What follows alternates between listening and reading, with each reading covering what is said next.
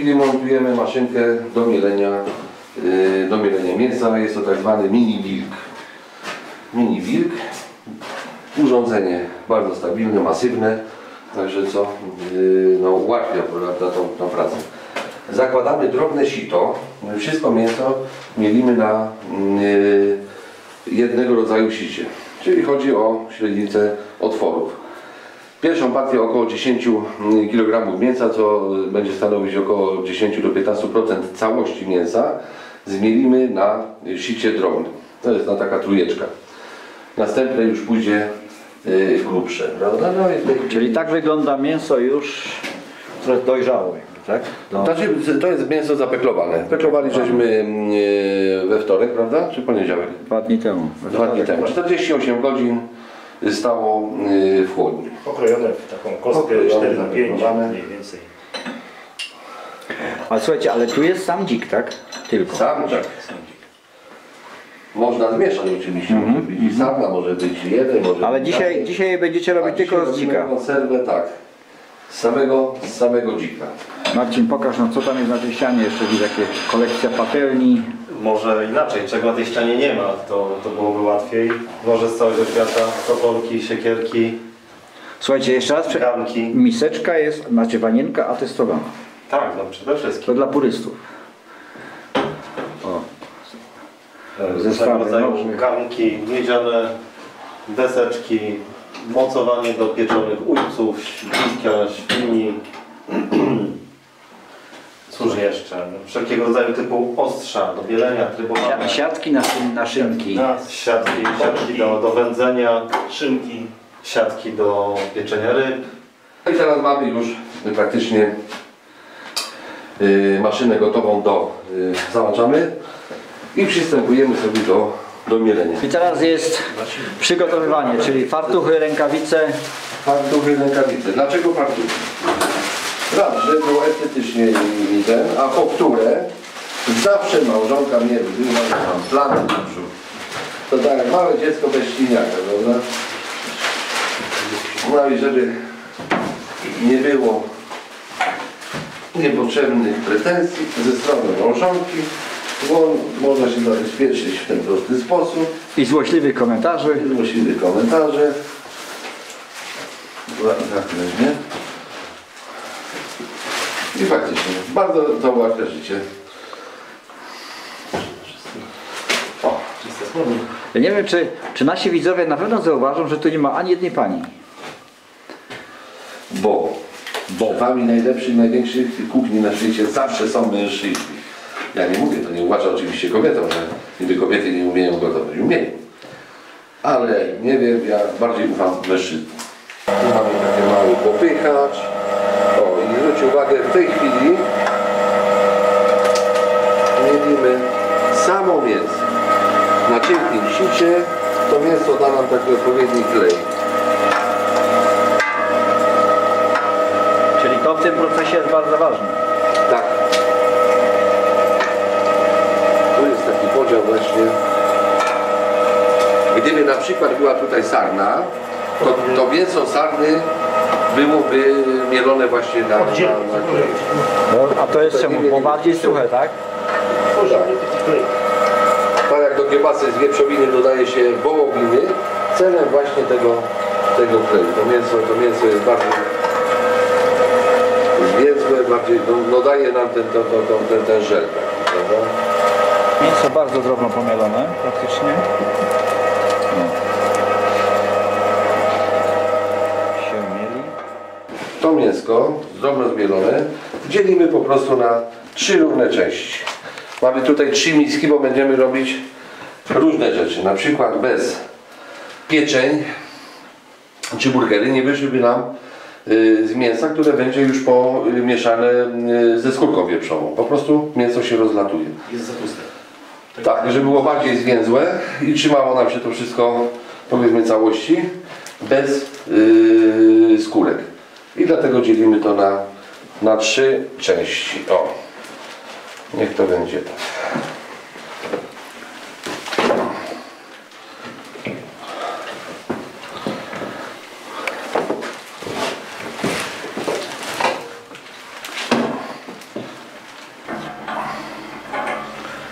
Czyli sito na grubsze. Będziemy robić na tak zwanym szarpaku. Z sita 3 mm zamieniamy na szarpak. Szarpak no jest to też swego rodzaju sito, tylko są trzy otwory, które powodują, że mięso będzie bardzo grubo mielone. Powiedzcie, czy da się zrobić z takiego mięsa tatar? To znaczy dzik, czy w ogóle się nadaje na tatar? O.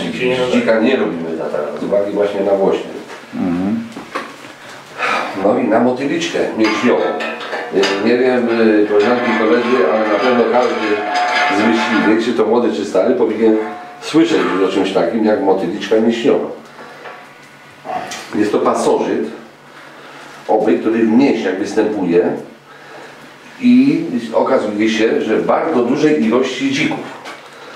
Y, Normalnie w procesie gotowania, pieczenia to jest nieszkodliwe, natomiast gdyby ktoś się tam pokusił, już kiedyś wspomniałem, że w lokalu podawano steki z dzika, co jest naganne, albo bardzo naganne, nie, to jest niedopuszczalne wręcz. Także y, surowego mięsa dzika nie polecam. I na szarpaku zaraz pokażemy jak wygląda. Od razu zobaczcie jaka jest konsystencja mięsa po tak zwanym szarpaku. No idealna do konserwy. Nawet można by było zrobić kiełbasę. Można by się pokusić i takie mięso, Ale burgerka też. burgerga oczywiście, będziemy robić z tego mięsa. W konserwie mogą, są dopuszczalne grubsze kawałki, prawda? Także nie bawimy się w jakieś tam drobno mielone. My nie mamy się czego tutaj wstydzić. To jest taki materiał, który musi być widoczny, prawda? To nie jest tak, że kupujemy konserwy w sklepie i nie wiemy z czego to jest, nie, nie widać konsystencji, bo jest to zmielone powiedzmy do formy parówki. Ciągle eksperymentujemy. Część mięsa odłożyć i zrobić konserwę z całych kawałków. Te kawałki, tak jak tutaj widz- widzicie Państwo i koledzy, koleżanki, y, będą wkładane do konserwy w całości. Spróbujemy również zapasteryzować i zrobimy coś takiego, żeby to były, ta konserwa była bardziej taka wyrazista, bardziej... Czyli wcześniej nie robiliście tego jeszcze. Robiliśmy, ale Robiliśmy, ale też mieszaliśmy drobne z kawałkami mięsa. Dzisiaj chcemy zrobić konserwę, gdzie całe kawałki mięsa będą w jednej konserwie. Bo tam się mieli mięso, ale to jest tylko jeden z etapów. Teraz ty robisz? sprzątam i przygotowuję się do wyparzenia puszek. W Czyli ty- pomieszczeniu obok gotujemy wodę. Każda z puszek zostanie zanurzona we wrzątku, żeby ją odkazić. Zaraz przejdziemy, pokazać, są puszki różnej średnicy. Jest tak zwana puszka jednoosobowa, 300, dwuosobowa 500 i zestaw imprezowy 800. Taka fajna nazwa, zestaw imprezowy. Gotujemy wodę i będziemy parzyć puszki. Każdą trzeba sparzyć. Że trochę pracy będzie. Tu malutki rzut, rzut oka na kolekcję. To jest tak zwana stodoła. Kolekcja widzicie? Znaczy część kolekcji. Tak jak wcześniej wspomniałem, każda z puszek, mimo to, że jest nowa, jest wyparzana. Nigdy nie wiadomo, co się działo z nią wcześniej. Fabrycznie zapakowana w kartonie, ładna, ale dla bezpieczeństwa wszystkie są wyparzane. Kupuje się zazwyczaj oddzielnie puszki, oddzielnie dekielki, dlatego trzeba sobie zawsze policzyć, ile potrzeba dekielków, w zależności od tego, po ile są pakowane dekielki, a po ile pakowane są puszki. E, Puszki na rynku są e, naprawdę przeróżne. Różne pojemności 330, my akurat używamy 300. E, Tak wynika to z praktyki. Wieczorem jak sobie otwieram taką konserwę, to jest taka konserwa właśnie jednoosobowa. Na kolację, na śniadanko, nie zostaje, nie psuje się, nie obsycha. E, Zjadamy konserwę, wyrzucamy puszkę. Mm, Troszkę większym rozmiarem. Przyniosłem tutaj kilka rodzajów. Jest 500. I to uważam, że to jest taki idealny produkt na dwie osoby. Dwóch facetów, jedna puszka, 4-5 dobrych kanapek e, i temat z głowy. Ale jak się jakaś pani znajdzie, też może zjeść. Oczywiście, no to kwestia jest tylko do, do, do doboru rozmiaru, tak żeby wszystkim starczyło. E, największa, którą stosujemy jest 800, kiedyś e, mieliśmy też kilowe puszki, uważam, że to jest za dużo. Zostaje e, lepiej otworzyć kolejną świeżą puszkę niż później po dniu czy, czy dwóch dniach z lodówce wyciągać otwartą puszkę, to, to jednak jest takie lekko zwietrzałe. Mm, najlepsze jest w momencie otwarcia zapach, smak, e, niezobeschnięte konsystencja, no i takie trzy podstawowe rozmiary. Te są takie najfajniejsze, najciekawsze, y, bo są po prostu małe. Jak Fajnie się je rozdaje, można komuś dać na posmakowanie. e, prezent zrobić, e, można zrobić różne warianty, tak jak Dziku przed chwilą mówił, e, można je inaczej doprawić, e, inne przyprawy zastosować, inną konsystencję, inne dodatki. No i w tych samych puszkach robimy też pasztet. I pasztet jest jeszcze bardziej taki podzielny. Możemy go sobie rozsmarować na kanapkę, dużo bardziej wydajny niż konserwa, o konserwy dajemy grube kawałki. Więc ten pasztet też, im mniejsza puszka, tym lepiej. Robimy też, e, tak dla porównania, pasztety i konserwy w słoikach. Jednak e, moje prywatne zdanie jest takie, że kon- konserwa zapakowana do puszki jest dużo smaczniejsza. Przede wszystkim chodzi tutaj o obróbkę termiczną, dlatego że taka konserwa będzie tutaj pokazana w jaki sposób jest gotowana. Jest gotowana powyżej 100 stopni. Proces obróbki termicznej jest dużo krótszy, przez co też walory smakowe mięsa moim zdaniem są dużo atrakcyjniejsze. E, I to, co zaobserwowałem nie jako specjalista, a jako, jako osoba, która po prostu degustuje tego, te, te, te, tych konserw, jest to, że jeżeli gotujemy nawet w podciśnieniu słoiki, to nie ma takiego krystalicznego zlasowania się tłuszczu i wydzielenia galaretki. Tam jest to takie, tak, takie, takie nieczystkie, grudkowate. A tutaj przy tym tak wysokim ciśnieniu, tak wysokiej temperaturze uzyskujemy idealny smalczyk, idealnie się wydziela z tego galareta i w całości zatopione jest mięso. I to jest ten właśnie efekt, który chcemy osiągnąć dzięki bardzo wysokiej temperaturze, krótkiej obróbce termicznej, e, czyli pasteryzowaniu puszek. Tak, każdą puszkę musimy wyparzyć, co najmniej na chwilę Założyć we, we wrzątku. wodzie. I trzeba delikatnie uważać, żeby nie uszkodzić rantu, ponieważ jak go uszkodzimy, za bardzo zgnieciemy, to później puszka podczas pasteryzacji nam się rozszczelni i będzie konserwa do wyrzucenia. Czyli tylko zanurzamy. Zanurzamy na chwilę Czekamy. we wrzątku, tylko żeby nie uszkodzić rantu. I tak każdą puszkę trzeba sparzyć. Pod spodem też są denka, denka też trzeba sparzyć. Yy, Pierwsza miska poszła yy, na trzy równe części. Tu dodaliśmy troszeczkę słoniny, żeby te konserwy były ciutkę yy, bardziej tłuste. I to, A tak to jest wieprzowa słonina, tak? To jest wieprzowa słonina, ale jest jej niewiele. Bo dziki i tak są tłuste o tej porze roku, prawda? Także to jest tylko taki dodatek dla tego przysłowiowego smalczyku w puszce. Mielimy Patryk na trzy równe części, a ja robię sobie przerwę na zasłużonego papierosa. Tą kolekcję kiedyś pokazywaliśmy też. No ja przepraszam za bałagan, bo jest to taki Ale to jest kolek, ale to jest tak, słuchaj, to jest kole, bałagan kolekcjonerski. bałagan kolekcjonerski. O. Powiedz tak, od ilu, od ilu ty już lat Od 50. zbierasz? Od 50. Zacząłem od muszelek, już wcześniej mówiłem, a autentycznie. Od 50 lat kolekcjonuję. I to się, słuchaj, kolekcjonerstwo to jest taka dziedzina, że to się nigdzie nie kończy. Znaczy powiem tak szczerze, najpierw było to hobby, potem to była pasja, a w tej chwili to jest obsesja. A to już jest choroba. Mało tego nieuleczalna. Mielenie zostało zakończone, już pomieliliście wszystko. Jest wszystko zmielone. Mielone ma. Teraz będziemy dodawać Tak. O, tu jest teraz ważny temat skórki. I teraz tak, to co żeśmy mówili, skórki mamy, skórki mamy wieprzowe. Ja, wcześniej to jest kupę zabawy przy tym, naprawdę. Bo to sami robicie, tak? Proszę? Mielenie to sami robicie. Tak, to jest, to jest naprawdę. O. Do 20% objętości, czy y, wagi, może być skórek. Y, po co te skórki? Skórki nadają nam. y, to jest no, kolagen w czystej postaci. Dzięki temu będziemy mieli tą fantastyczną galaretkę y, koło tego mięsa. Bo wiadomo, że w trakcie pasteryzowania konserwy mięso się kurczy, a ta, o tą otoczką będzie właśnie ta galaretka, czyli to osoczy ten, ten No sok. żelatyna po prostu. Żelatyna, no nic innego, tylko, tylko naturalna, prawda?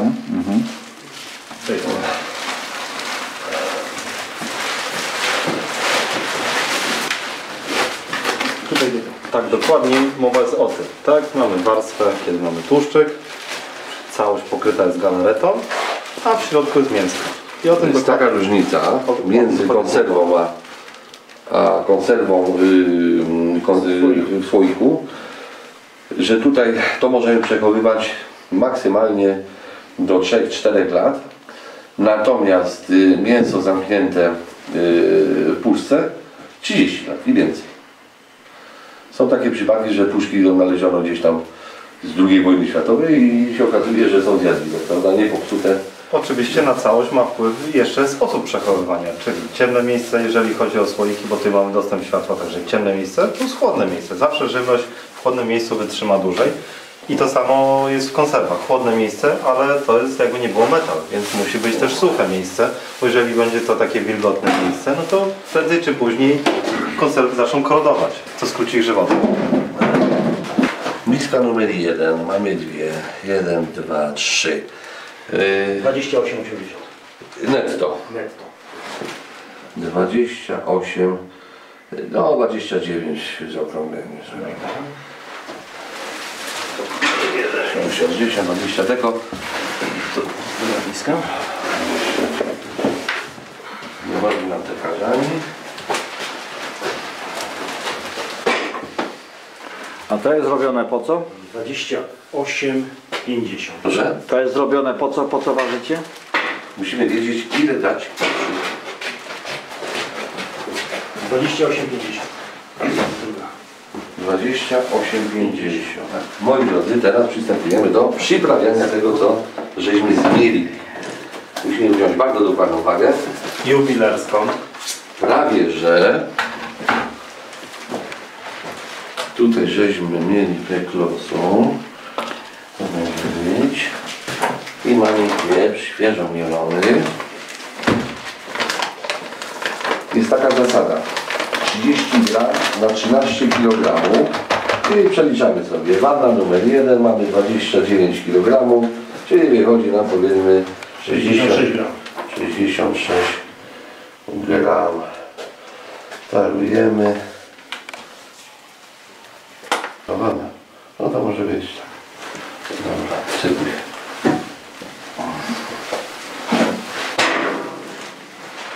Po całości. Czyli tak, mamy już popie, popieprzono, a teraz czosnek, tak? A teraz czosnek. I teraz co ciekawego. Do konserwy nie możemy dać czosnku surowego, dlatego że czosnek surowy fermentuje. Dajemy tylko i wyłącznie czosnek yy, czosnek suszony.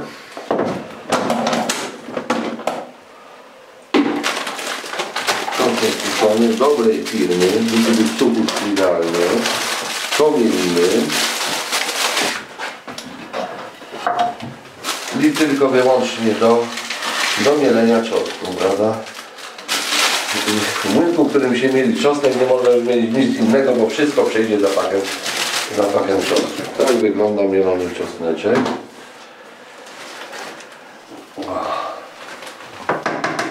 No i tu już mamy, można powiedzieć, że wyrobione to na, na oko.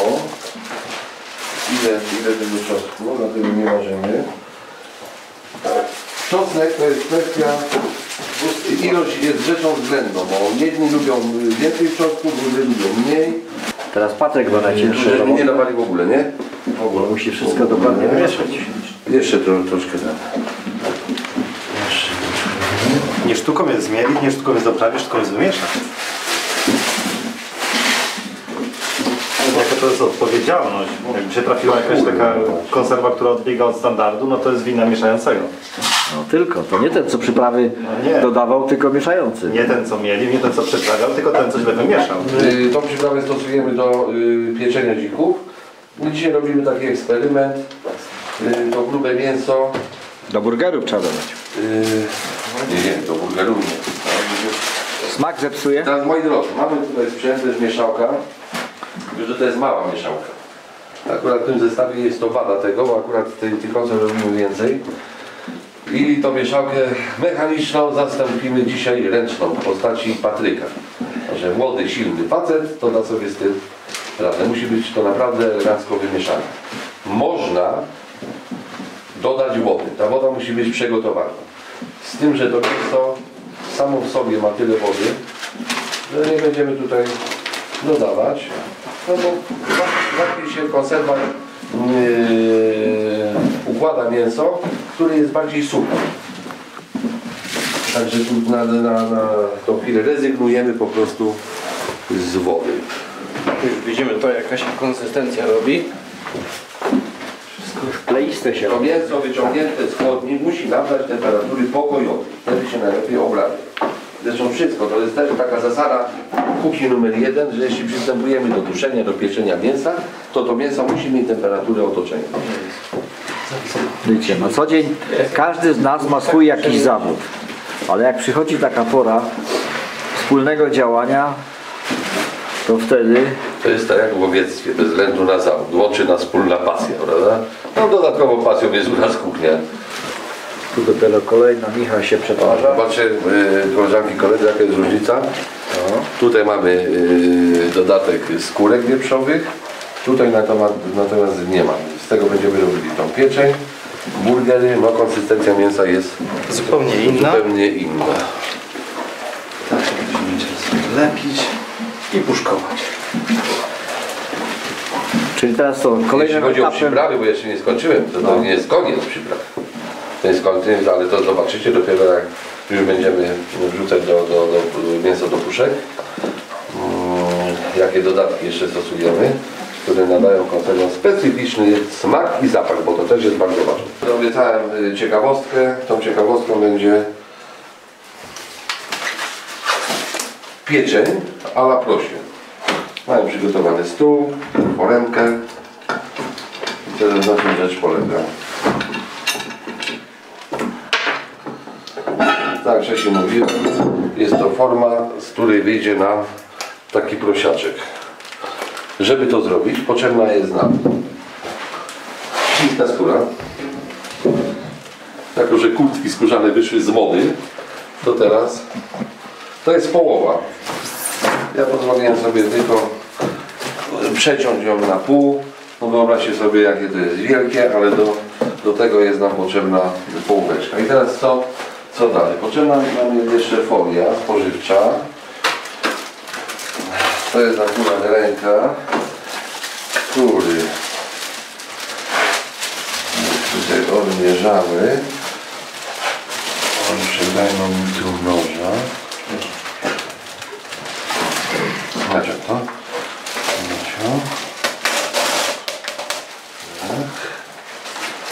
Teraz przytniemy to na pół, żeby mieć w jednym kawałku.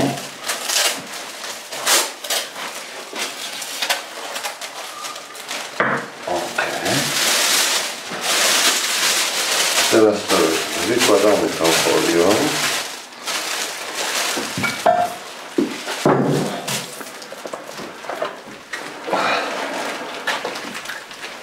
Wykładamy.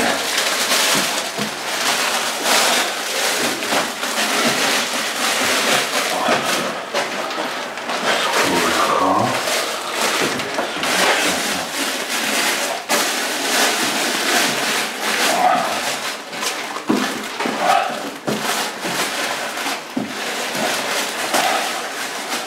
Skórka oczywiście wcześniej wyczyszczona, wymyta.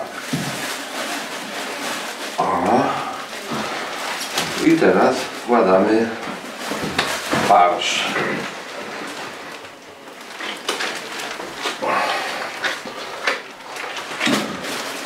O, I ubijamy mocno.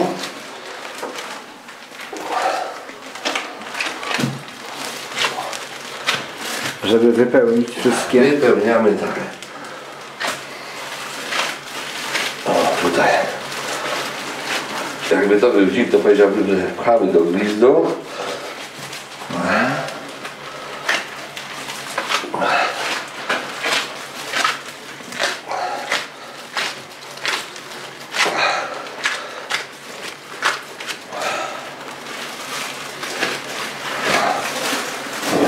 Czyli tak ktoś to ogląda z zewnątrz, to fajnie wygląda, ale to wymaga mnóstwo siły fizycznej.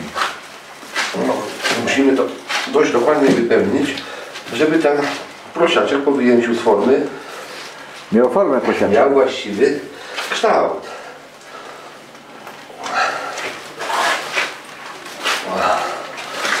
Tak, ja ale dobre 2,5 do 3 kg. Powiedz teraz temperatura, jaka, jaki czas pieczenia? Około 3 godzin. y, 2,5 godziny w temperaturze 2,5 do 3 godzin w temperaturze 150-170 stopni. Żeby nie spalić tego po prostu. I teraz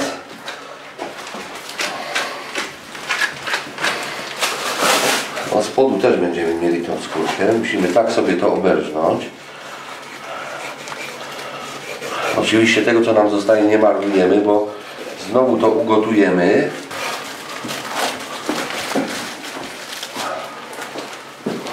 To się nic nie marnuje.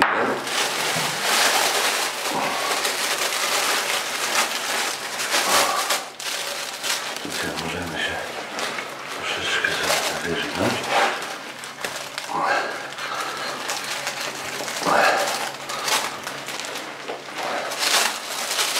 Takie składanie. Trochę czasu to wymaga, ale efekt na pewno jest wspaniały. No, jak to wygląda na scenie. No, to taka kulinarna ciekawostka. Cały efekt. Ona się pięknie zapiecze. Tylko wiesz, trzeba też dopowiedzieć, że tu nie przypadkowo jest folia, znaczy tu jest rękaw, żeby to ktoś nie dał zwykłej folii. Nie, nie, nie, nie. To jest, to jest rękaw spożywczy, w którym się normalnie piecze. Odporny na temperaturę. Tak. Folia spożywcza. Tutaj mamy jeszcze taki prezik, prawda? Ten nadmiar tego rozejdzie nam się po tej yy, górnej części, prawda?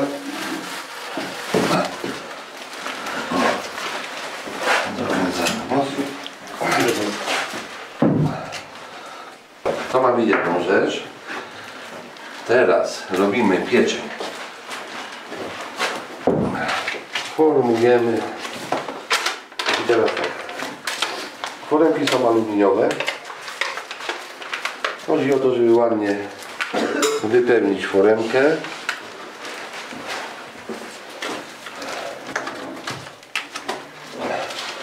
Zostawiamy takie pół centymetra od góry.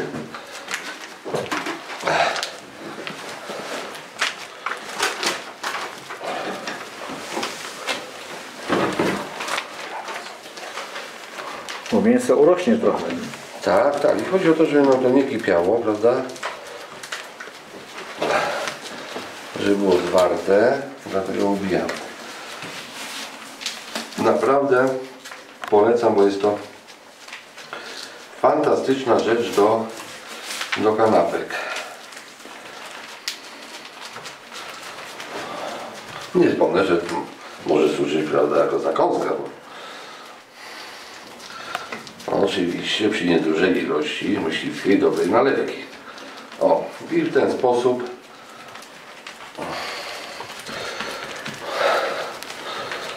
O, ale to jeszcze jest nie koniec, bo za moment to jeszcze przyprawimy.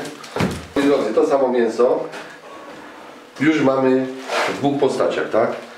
Z tego co zostało w misce będziemy robić burgery. Trzecia rzecz. Czwarta to są konserwy. Konserwy normalne. I y, piąta rzecz, można powiedzieć z tego samego mięsa, w tym samym czasie.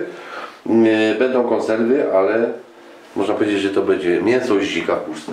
No to nie jest konserwa, bo to, jeśli to są grube kawałki, no to nie można tego nazwać y, konserwą. Czyli teraz już ten końcowy etap, tak? Puszki. Nie jest wiertarka, tylko maszyna do puszkowania. Maszyna do puszkowania. Zaraz pokażę jak to działa. Bardzo proste urządzenie. O, mamy już. Yy, Puszki przychodzą w kartonach. Prosto od fabryki. Teraz układamy sobie puszki. I będziemy wypełniać.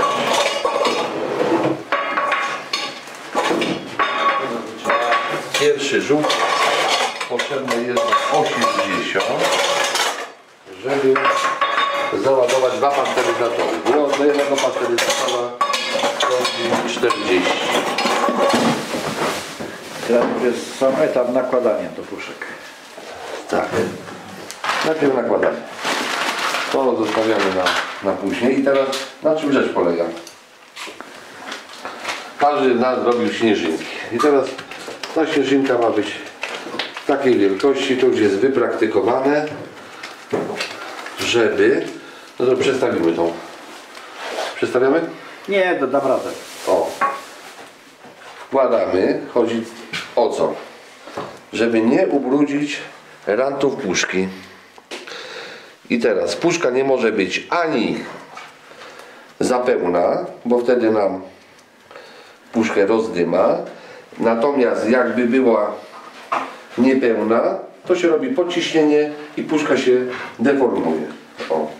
Jedna śnieżynka z mięska, jedna, jedna puszka.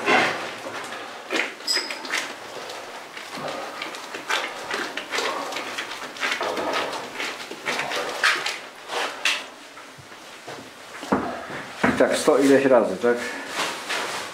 W zależności ile puszek jest. A jakby było coś za dużo, to troszeczkę można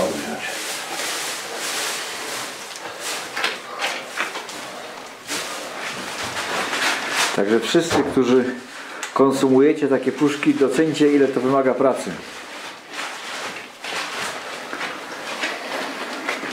Poczynając od upolowania. No, to jest pierwszy etap, prawda? Nawet sam mm, fakt strzelenia tej zwierzyny, sposób strzelenia, Potem obielenia, potem obielenia, obchodzenia się, pat, patroszenie. krojenie.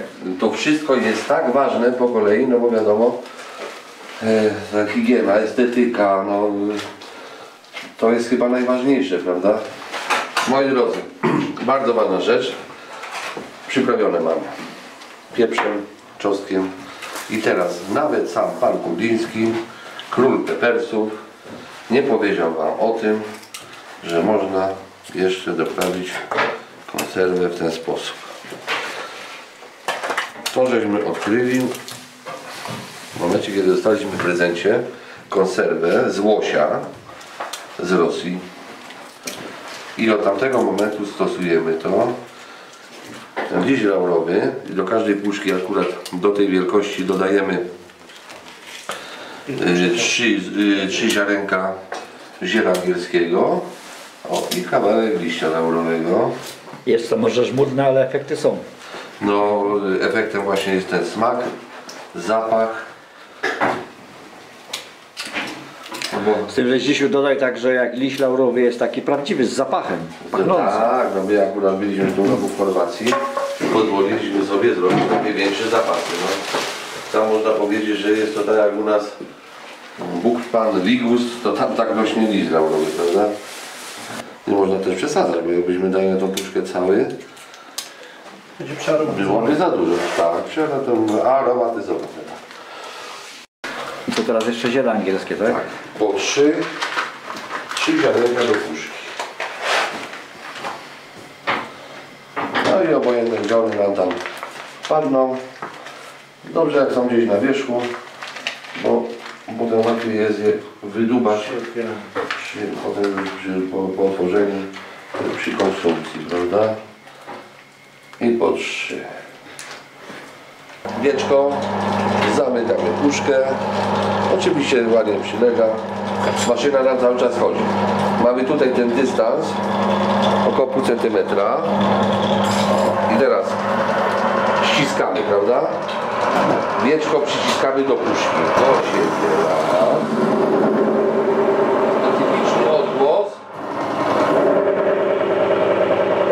I Czyli powstaje ten rand taki, tak? i tak, i ten ram nam powstaje. I teraz zobacz, choć cała sztuka polega na tym, żeby był gładki. Gładki, ładnie zaciągnięte, ładnie. No trzeba siły troszeczkę użyć. I tą już mamy gotową. I Tak jeszcze. I tak jeszcze 80 razy. No to dopiero będą dwa pasteryzatory. I znowu mamy. I wkładamy. Przyciskamy Do siebie. do siebie, Marika.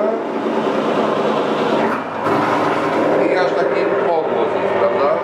O, nie można, nie trzeba za długo. I pięknie zamknięta puszeczka.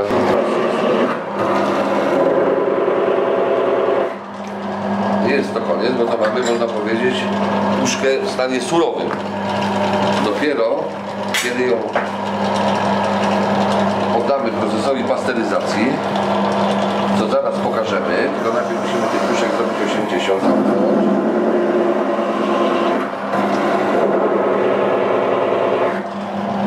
Tam są puszki, tam się robią puszki, a Patryk Patryk powie, co ty robisz? Będę piekł źdźich burgery według naszego przepisu. Buły już są gotowe. Źdźich? Burgery. Chyba wszyscy wiedzą od czego nazwa pochodzi. Burger to wiadomo, ale źdźich dzik od naszego szefa dzisiejszego. Z tego co wiem, to bułki na specjalne zamówienie w piekarni. Bułki na specjalne zamówienie, wielkie, świeżutkie. Jeszcze godzinę temu były ciepłe. Także jak ktoś zje takiego wielkiego, Trzeba, co jest tradycyjnie, czyli sałata, pomidor, ketchup, tak? tak, czerwona cebulka do smaku. Zobaczcie, jakie dzik burgery się też.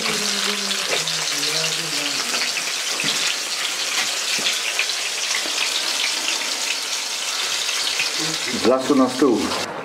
To co? Smacznego. efekt pracy. Czyli jemy dziś burgery, tak?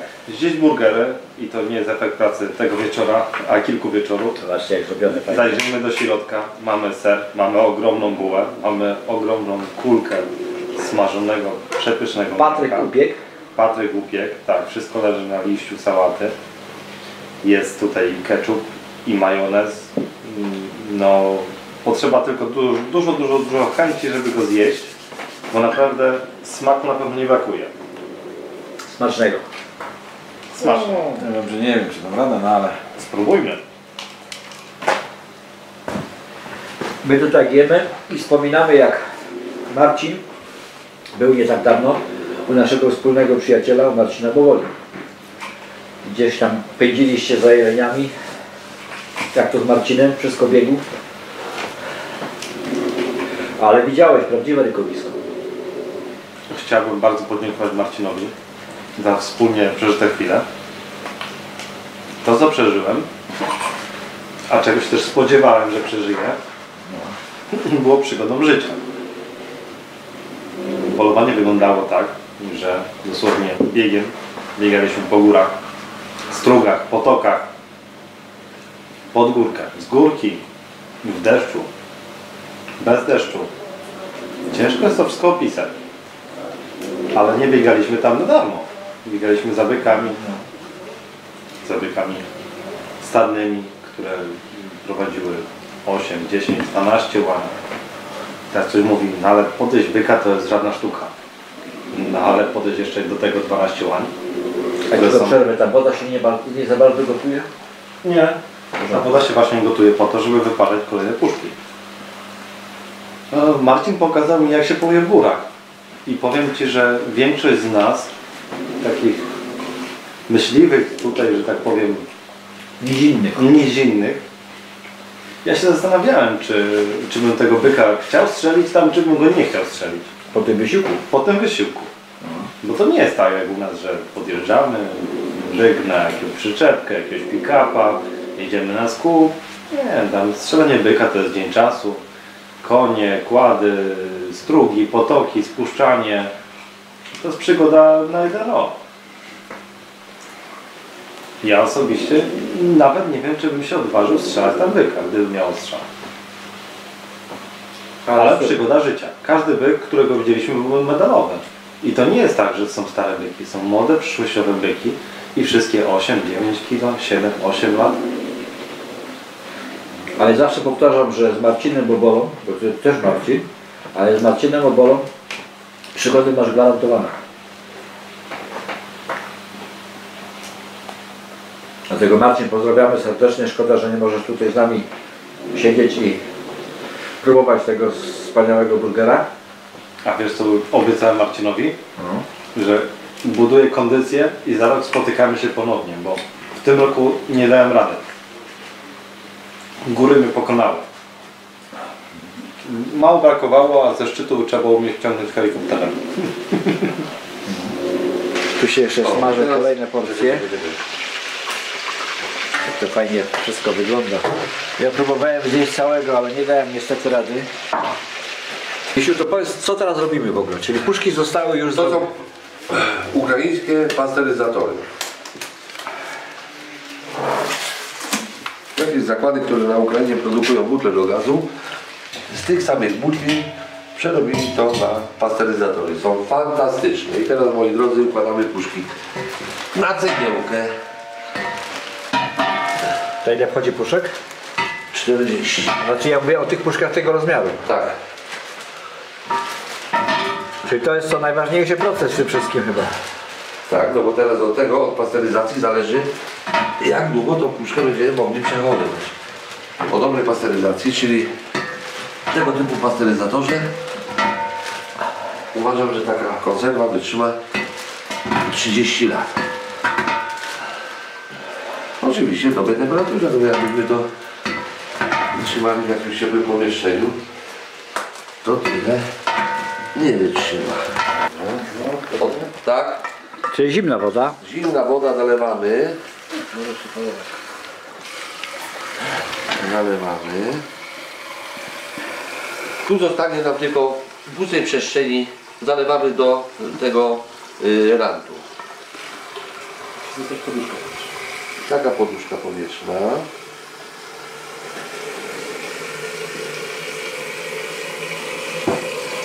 Tak sobie to zakładamy żebyśmy widzieli zegary.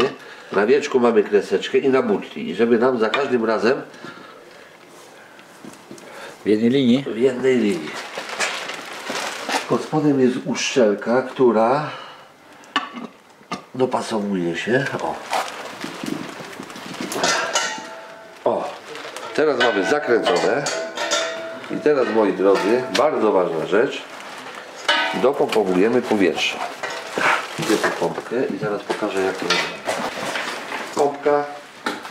Dobra pompka rowerowa.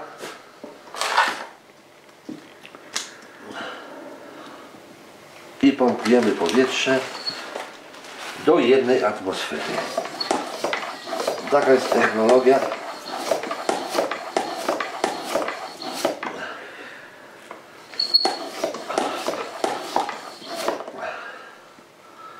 Jest. I nastawiamy sobie stabilnie nam to stało. I teraz moi drodzy, sztuka polega na tym, że trwa to, trwa to około półtorej godziny. Musi nam się podnieść ciśnienie do 3,3 do 3,3 atmosfery.